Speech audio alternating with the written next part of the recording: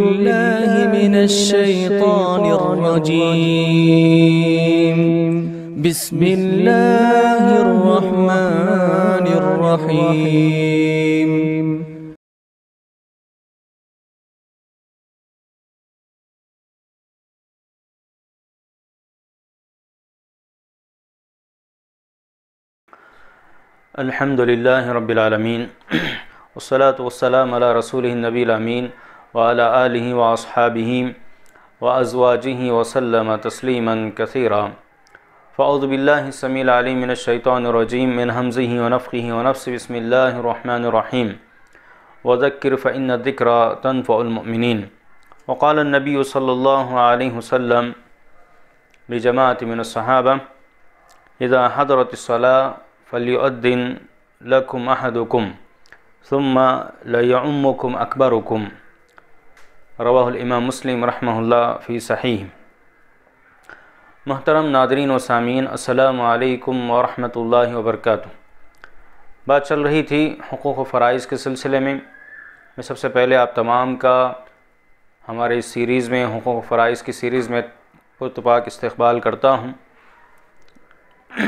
बात चल रही थी उमर रसीदा लोगों के हकूक़ के सिलसिले में। और इस सिलसिले में चंद अहम बातें मैंने पिछले दुरूस में बताए थे। और हकूक़ के सिलसिले में उमर रसीदा लोगों के वजूद को बायस बरकत व रहमत बनाया गया है। उसको बायस रहमत व बरकत समझना चाहिए। इस सिलसिले में चंद अहम बातें आखिरी दर्स में, पिछले आखिरी दर्स में मैंने बताई थी। इसी तरह उमर रसीदा लोगों के हकूक़ के सिलसिले में बहुत सारी बातें इस्लाम ने बताई हैं। कुरान हदीस में उसकी तरफ़ रहनुमाई की गई हैं, असलाफ़ की ज़िंदगी अगर देखें तो बहुत सारी बातें हमें मिलती हैं। उन्हीं में से एक ये हैं कि हम बूढ़े लोगों के मकाम व मरतबे को पहचानें, उसको मलहूज़ रखें। उनकी ज़िंदगी के जो भी तजुर्बात हैं, उससे हम फ़ायदा उठाएँ और हर काम में जो है उनसे मशवरा लिया जाए। तो देखिए, बूढ़ों का एक मकाम मरतबा है। इस्लाम ने हर एक को उसका मकाम दिया है। बच्चे भी हैं तो उनका मकाम है। औलाद की शक्ल में हो या किसी और शक्ल में रिश्तेदारी ना हो, वह हमारी औलाद ना भी हों तो मुसलमान होने के नाते बच्चों के भी हकूक़ इस्लाम ने बताए हैं, नौजवानों के भी उनके अपनी, उनका मकाम है, मर्तबा है। इसी तरह बूढ़ों को भी एक मकाम इस्लाम ने दिया है। तो इसीलिए उनकी ज़िंदगी के जो तजुर्बात होते हैं, दीनी नाहिए से हों या दुनियावी एतबार से हों, ज़िंदगी के उनके तजुर्बात, जिनसे उन्होंने फ़ायदा उठाया या दूसरों को फ़ायदा पहुँचा सकते हैं। तो हम और आपको चाहिए जिस माशरे समाज और सोसाइटी में हम और आप रहते हैं हर एक को चाहिए कि बड़े लोगों के तजुर्बे बड़े फ़ायदेमंद होते हैं। कभी खुद ऐसा भी होता है कि उनके तजुर्बे को उन्होंने नहीं अपनाया लेकिन वो तजुर्बा रखते हैं किसी भी फ़ील्ड में किसी भी आ, मामले में। तो हम और आपको चाहिए कि उनके तजुर्बात से सही फ़ायदा उठाएँ। और हर काम में जो है उनसे मशवरा लेने की कोशिश करना चाहिए। कभी उनका मशवरा ऐसा होता है कि ज़िंदगी बदल देता है, ज़िंदगी में इनकलाब बरपा होता है। और तारीख़ का हम मुताला करें, तारीख़ शाहिद हैं कि दुनिया में जो भी तरक्की आई है, दुनिया में जो भी बड़ी बड़ी फतवाहत हुई हैं, इस्लामी हुकूमतों ने जो है जो भी तरक्की की हैं, उसमें देखें बड़ा बड़ा इनकलाब जो बर्पा हुआ, उसके पीछे जहाँ नौजवानों की ताकत और उनकी ज़ोर, उनकी क़वत का आ, मामला था। वहीं पर बूढ़े लोगों के तजुर्बे थे और उनके मशवरों से नौजवान आगे बढ़े और उन्होंने बेशुमार जो है माशाल्लाह जो भी हम तारीख़ में देखते हैं जो तरक्की हुई हैं लोगों ने जो है ख़ुद सहाबा कराम ने अल्लाह के नबी वसल्लम की ज़िंदगी में भी सहाबा ने अल्लाह के नबी वसल्लम और उस वक्त जो भी बूढ़े थे बहुत सारे वाक़ात हमें मिलते हैं जिसमें मुसलमानों ने बूढ़े लोगों से मशवरा किया उनके तजुर्बा से फ़ायदा उठाया है।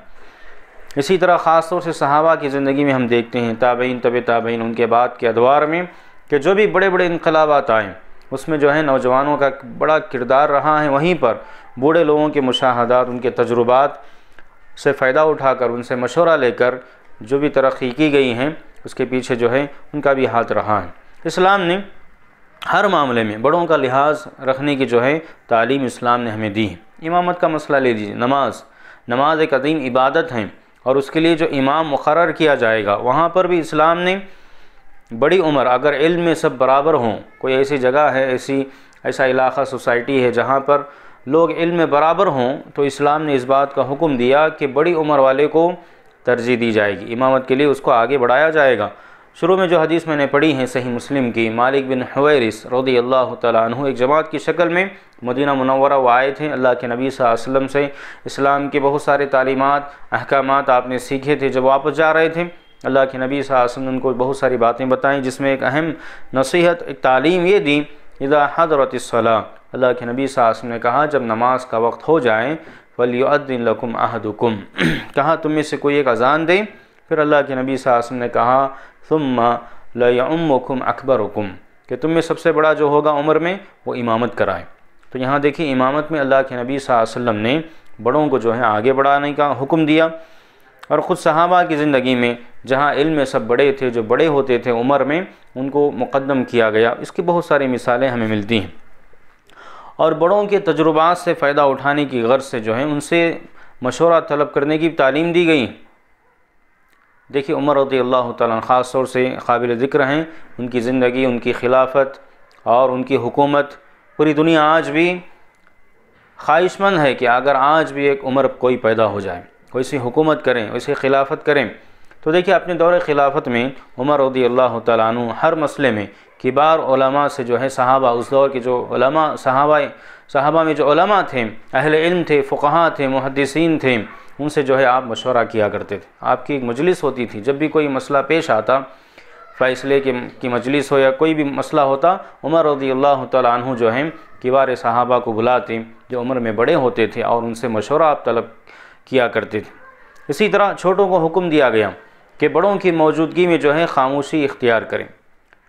जब बड़े मौजूद हों किसी मजलिस में, ख़ासतौर से इल्मी मजलिस हो फ़िक्की मजलिस हो फतवे की मजलिस हो, ख़दा फ़ैसला करने का मामला हो, उम्मत के बड़े बड़े मसाइल का मसला हो तो वहाँ इस बात की ताक़ीद की गई।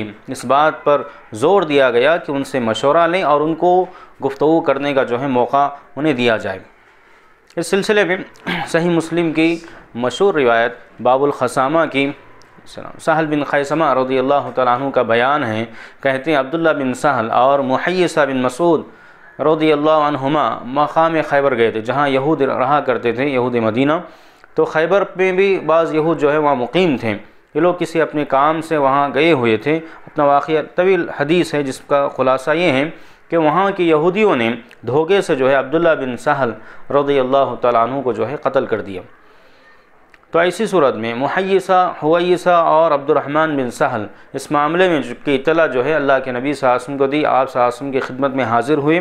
और गुफ्तु का जब आगाज़ हुआ, उनमें जो सबसे छोटे थे अब्दुलरहमान बिन सहल, उम्र में छोटे थे, उन्होंने गुफ्तु करने की कोशिश की, अल्लाह के नबी सासम से बातचीत की। अल्लाह के नबी ने इस बात को नोट किया कि ये सबसे छोटे हैं तो अल्लाह के नबी सासम ने उस वक्त फरमाया था कब बिर कब बिर कहाँ? कि बड़ों को कहने का मौका दो।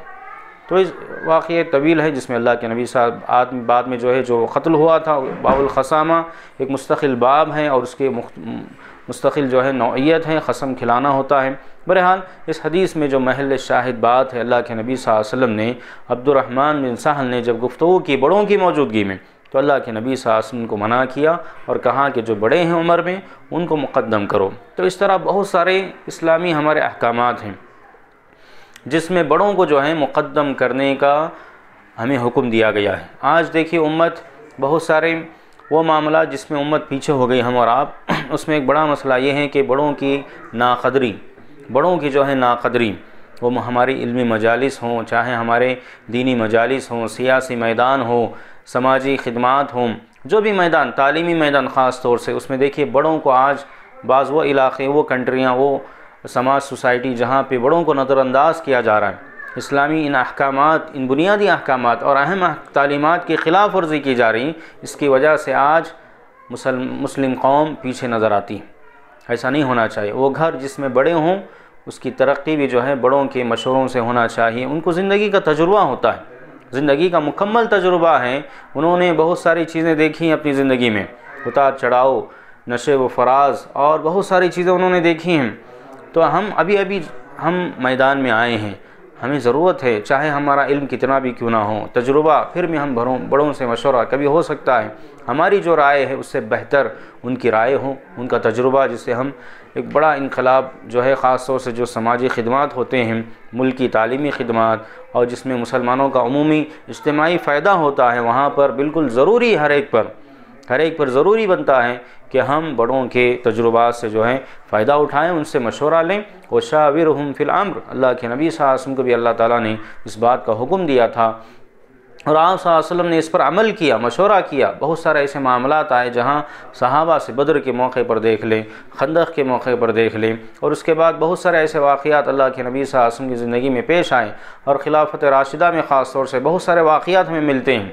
जैसा मैंने उमर रदी अल्लाह तु का मैंने एक वाक़ ज़िक्र किया कि जब भी कोई मसला आता, आप बड़े सहाबा कराम सहाबा कराम को बुलाकर तजुर्बा, उनके तजुर्बा से फ़ायदा उठाया करते थे, उनसे मशवरा किया करते थे तो इसमें बहुत ही खैर है, बरकतें हैं, भलाइयाँ हैं। इज्तमाही ख़ास तौर से बहुत सारे दुनियावी, उखरवी फ़वाद इसमें मुजमर हैं। हर एक के लिए ज़रूरी है कि वो इन बातों पर अमल करें। अल्लाह से दुआ है कि अल्लाह ताला हम तमाम को सही मानों में जो भी बातें हमने सुनी हैं, समझने की अल्लाह तोफ़ी अता फ़रमाएँ और जिन बातों पर अमल करना लाजमी ज़रूरी है, अल्लाह अमल की सदत नसीब फ़रमाएँ। अल्लाह ताला इस सिलसिले में उम्मत से इज्तमाही या इनफरादी जो भी सुस्ती काहली हो रही अल्लाह ताला दरगुजर का मामला फ़रमाएँ। सबको एक प्लेटफार्म पर अल्लाह जमा फ़रमाएँ और इज्तमाही ख़ास तौर से जो फ़वाद और जो इनकलाबात और जो बहुत सारे भलाइयाँ जिसमें पोशीदा अल्लाह ताला उन तमाम उमूर को कम हक़ निभाने, अपनाने की सदत अल्लाह नसीब फ़रमाए। आमीन, सुम्मा आमीन। वमा अलीना इल्लल बलागुल मुबीन।